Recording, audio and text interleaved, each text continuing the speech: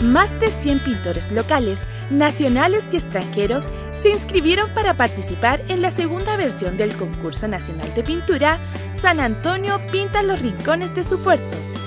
Certamen que busca poner en valor la identidad local, la diversidad y la riqueza natural del territorio, que se extiende entre el puerto, las zonas rurales y nuestras tradiciones, invitando a inmortalizar un paisaje de la comuna que incorpore elementos identitarios.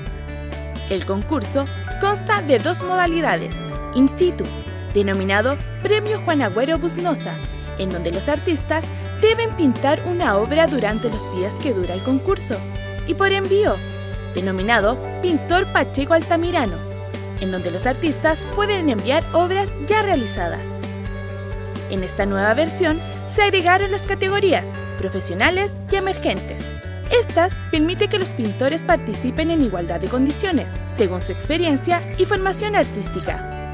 El jurado está integrado por tres figuras relevantes de la plástica regional y nacional, Hugo Jorquera, Gonzalo Ilavaca, Marcela Trujillo y Fernando Núñez. Yo creo que el criterio que más dominó en la selección es que queríamos que eh, premiar y elegir obras que fueran más originales y que fueran propuestas personales.